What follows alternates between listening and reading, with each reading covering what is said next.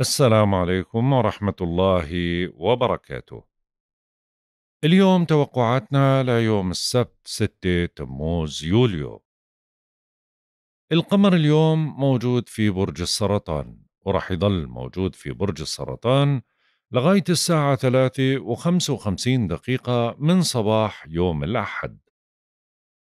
القمر الآن موجود في منزلة الطرف وهي منزلة للمضرة والمشاكل ورح يضل القمر موجود في هاي المنزلة لغاية الساعة سبعة وثلاث وخمسين دقيقة من مساء اليوم السبت.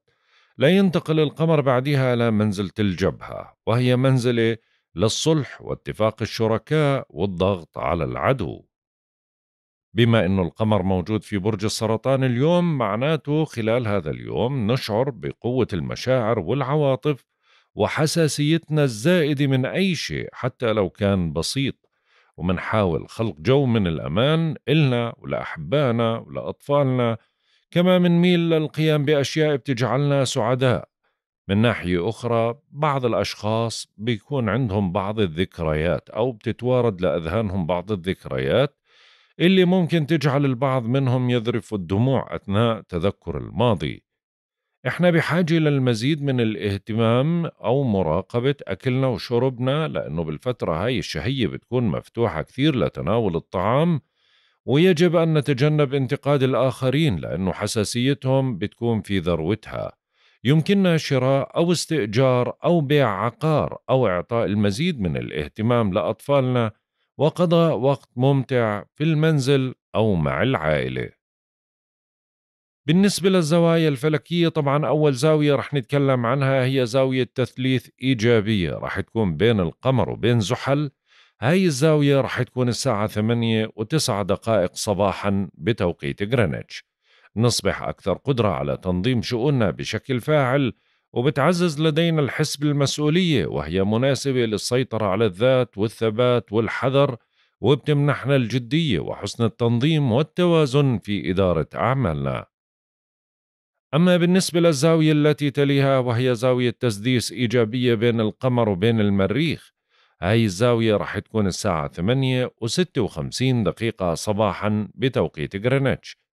بتلوح الفرصة للتحصيل على مكسب مالي وبتساعدنا برضو هيك للاهتمام بصحتنا أكثر. بتزيد من شجاعتنا وحماسنا وهو الوقت المناسب للدفاع عن أفكارنا وحقوقنا. والقيام بخطوات مهمة. أما بالنسبة للزاوية التي تليها وهي زاوية اقتران إيجابية بين القمر وبين الزهرة. وهي الزاوية رح تكون الساعة 4 و26 دقيقة بعد العصر بتوقيت غرينتش بتأجج العاطفة اتجاه الجنس الآخر وبالتالي بننجح بتعزيز العلاقة معهم تعطي دفعة للعاملين في المجال الفني والتجميلي والديكور فبيتحسن عطائهم وإبداعهم. بتزيد من خيالنا وحبنا ومودتنا وتفاؤلنا وبتسمح لنا أنه نعيش أوقات ممتعة جدا. أما بالنسبة للزاوية الأخيرة وهي زاوية تسديس إيجابية بين القمر وبين أورانوس هاي الزاوية رح تكون الساعة 8 و22 دقيقة مساء بتوقيت غرينتش. بتعزز قدرتنا على استغلال المناسبات الاجتماعية والاستفادة منها ممكن يفاجئنا البعض بشيء غير متوقع وممكن يصدر منا ما هو غير متوقع اتجاه البعض كذلك. تمنحنا أفكار فريدة ومبتكرة ومتعة وتسلية غير متوقعة وبتزيد من اهتمامنا بالعلوم العصرية والتلفزة والسينما والميل لكل ما هو مدهش وغريب. بالنسبة للأعضاء اللي في جسمنا الأكثر حساسية واللي لازم نوفر لها العناية الإضافية وما لازم نعمل عمليات جراحية كبرى لإلها ولكن إذا كانت اضطرارية أو مراجعات طبية أو فحوصات فما في أي مشكلة. أول عضو وهو المعدة يعني اليوم قص المعدة أو تكميم معدة أو رنج للمعدة الأمور هاي أنا ما بنصح فيها تماما والمعدة هي أكثر حساسية وعندنا الكبد والصدر والغشاء المخاطي المبيض الرحم المهبل الثدي غشاء الجنب وهو الغشاء اللي بغلف الرئة وغشاء الصفاق وهو الغشاء اللي بيشبه الحرير اللي ببطن جدار البطن الداخلي وبغطي الأعضاء الموجودة داخل البطن والجهاز الليمفاوي وعظم الصدر. بالنسبة لباقي أعضاء الجسم طبعا ما في أي مشكلة لإجراء العمليات الجراحية لإلها. أيضا هذا اليوم مناسب لعمليات التجميل مثل الحقن والجراحة ولكن مش المعدة طبعا. آه، لا يصلح آه، لإزالة الشعر الزائد هذا اليوم.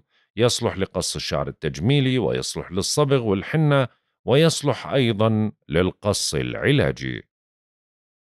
بالنسبة لخلو المسار طبعا بما أنه القمر موجود في برج السرطان خلو المسار القادم رح يكون يوم الغد الأحد بيبدأ الساعة 3 و47 دقيقة صباحا بتوقيت غرينتش وبيستمر لغاية الساعة 3 و55 دقيقة صباحا بتوقيت غرينتش.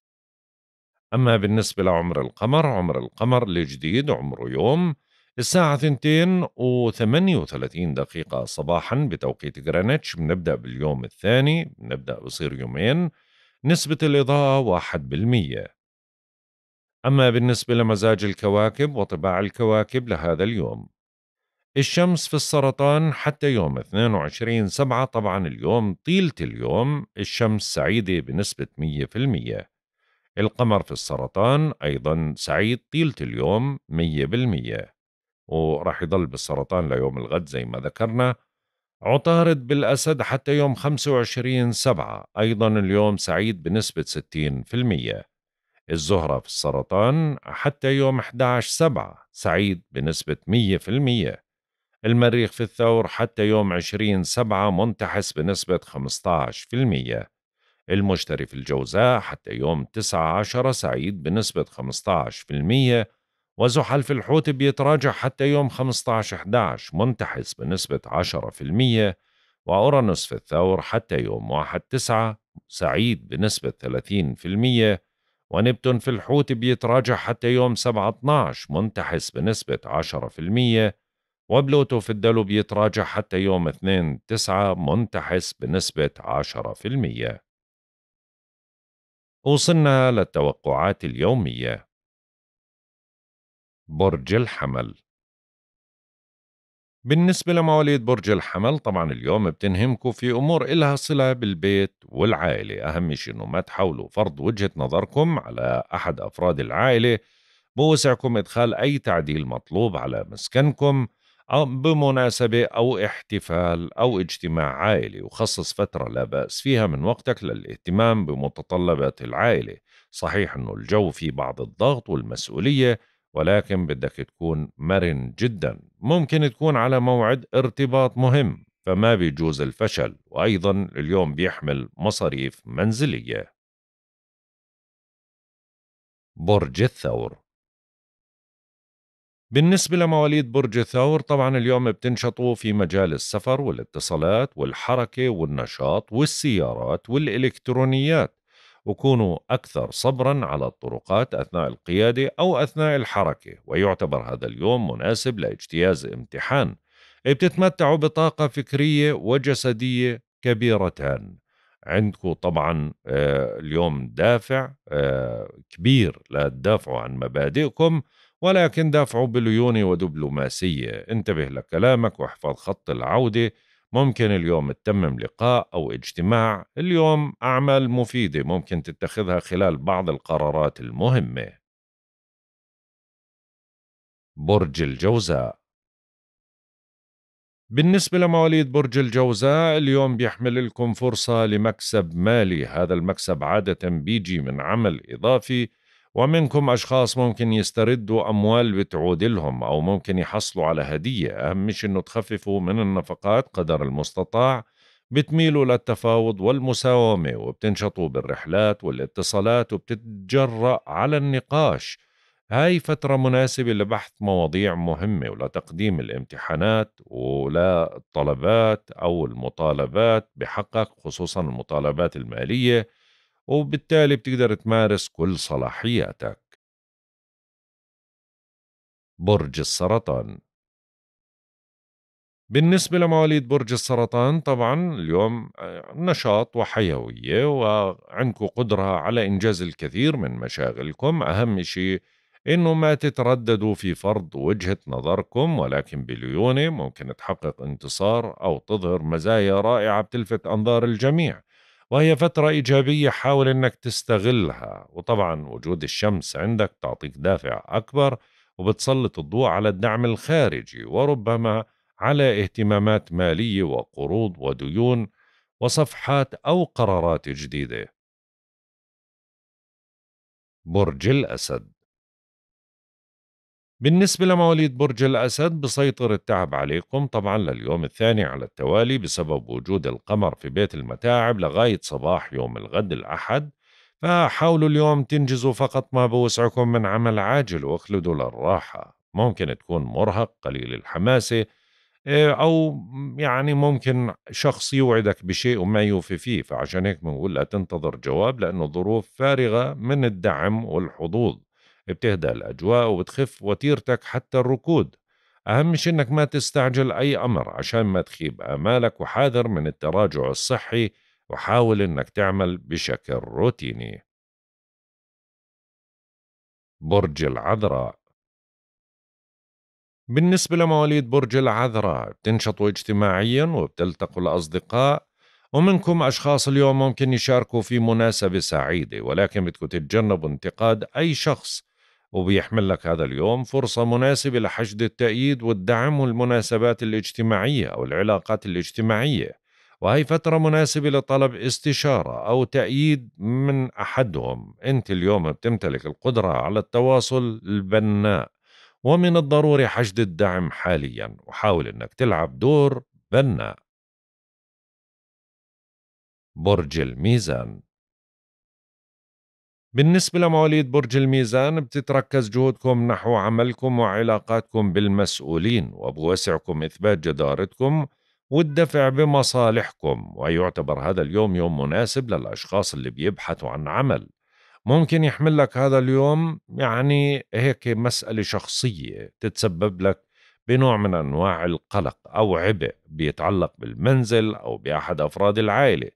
أهم شيء إنك ما تجازف باستقرارك المعنوي أو الشخصي وهدئ من روعك. انطلاقة بتثير التوتر والخلافات. برج العقرب. بالنسبة لمواليد برج العقرب طبعا اليوم بتنشطوا بالسفر والاتصالات البعيدة. كونوا أكثر صبرا أثناء قيادة السيارة في الشوارع المفتوحة. ممكن اليوم تفرح لإنفراج مسألة ضاغطة أو امتحان أو مقابلة أو بتنتظر خبر معين اليوم بيوصلك إشارة أو بيوصلك جواب. فترة جيدة ومنعشة للعلاقات والتحالفات ولكن بدك تكون حذر من المتاعب وبعض الوعكات الصحية رغم أنه الأجواء داعمة لإلك حتى على المستوى العاطفي. برج القوس بالنسبة لمواليد برج القوس طبعا اليوم بتنهمكم في ضبط شؤونكم المالية المشتركة ورغم النفقات إلا أنه في فرصة لمكسب مصدر شراكة أو تعويض صاروا سارعوا لتصحيح الأخطاء واستعادة ثقة الآخرين ولا تسمحوا للخلافات بالتأزم لا سيما مع الأحبة. ناقش وفاوض وما تتهرب من مواجهة الأمر الواقع وعبر عن رأيك بهدوء وما تستفز أحد. رغم أنه اليوم في فرص مالية أو جيد لحل مسائل تتعلق ببنك أو ضريبة أو تأمين. برج الجدي. بالنسبة لمواليد برج الجدي طبعا بينصب اهتمامكم حول موضوع الشراكة آه، لأنه القمر ما زال موجود مقابلكم. ابحثوا عن قاسم مشترك يجمعكم بشركاء العمل أو العاطفة أو ما بين الأزواج. وهي فترة جيدة لتسوية الخلافات أو حتى الحوار والنقاش. فترة شوي هي فيها نوع من أنواع التوتر لأنه القمر موجود مقابلك تماما فحاول إنك ما تتورط في أزمة ما. ممكن تضطر للإبطاء بمسار بعض الأمور أو الخطوات أو تغير نمط معين. أهم إشي إنك ما توجه أي انتقاد لأي شخص وابعد عن الانفعال والعصبية. برج الدلو بالنسبة لمواليد برج الدلو طبعا بيتراكم العمل لديكم اليوم. التركيز على العمل وعلى الصحة حاولوا إنجاز ما بوسعكم من عمل دون إهمال صحتكم وحاولوا أنكم ما تدخلوا في أي مواجهة مع زميل في العمل. بتكثر اللقاءات والاجتماعات وممكن تحضر لورشة عمل أو تهتم بموضوع صحي أو عمل جديد وبتكثر المسؤوليات والالتزامات على أنواعها. كن حريص على عملك وباكر إليه عشان تقدر تنجز الأعمال الضرورية والمهمة. برج الحوت. بالنسبة لمواليد برج الحوت طبعا بتشتد رغبتكم في التقرب من أحبائكم وتعزيز العلاقة معهم. حاولوا تفهم وجهة نظر الآخرين أو نظر أحبائكم الأجواء جيدة وداعمة وحاولوا أنكم ما تبالغوا في طلباتكم منهم. تحتفل بإنجاز أو انتصار وبتنمو بعض العلاقات وبتزدهر. فترة مثمرة وكثيرة الانشغالات والتحركات لكنها فترة حظ ونجاح وتقدم على المستوى المالي والمستوى العاطفي أيضا. هيك منكون انتهينا من توقعاتنا لهذا اليوم. والله أعلم. يا رضا الله ورضا الوالدين. سبحانك اللهم وبحمدك.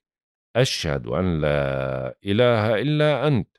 أستغفرك وأتوب إليك. أترككم في رعاية الله وحفظه. إلى اللقاء.